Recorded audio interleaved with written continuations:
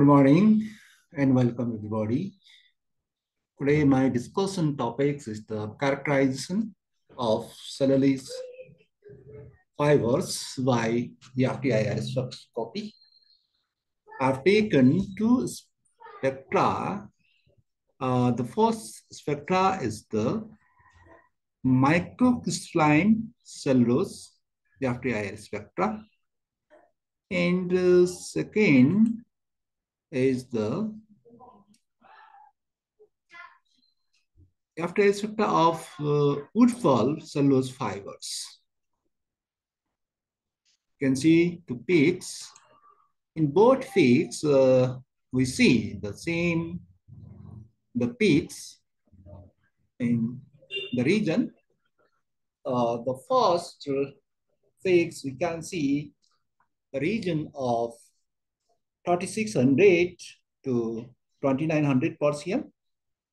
This is the due to stretching vibration of the waves and CS bonds in polysaccharides. 3331 per cm, this fix stretching vibration of the hydroxyl group in polysaccharides.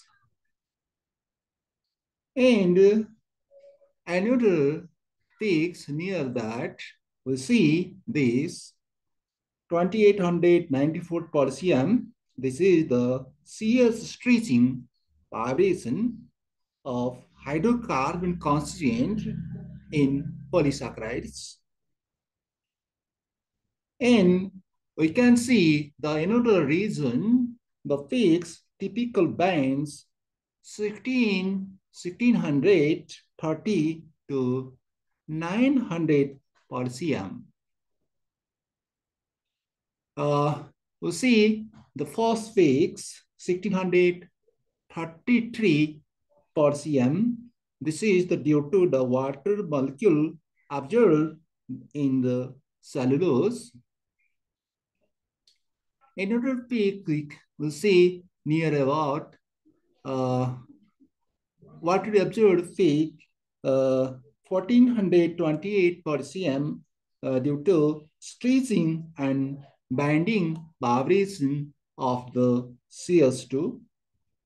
Similarly, the 1367 per cm, the stretching and bending vibration of CS.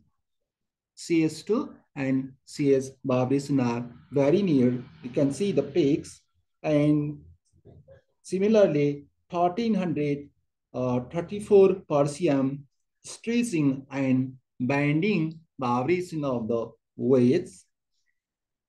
And uh, under peaks, we can see in the region of 1027, 1027, the stretching and vibration, uh, stretching and bending uh, due to the CO bonds.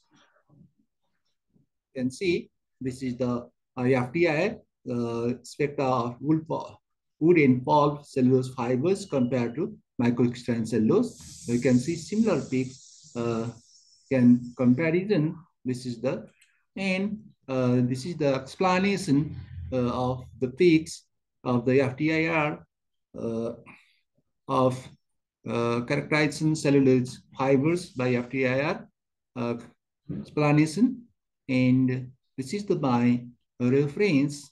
Uh, thanks for watching.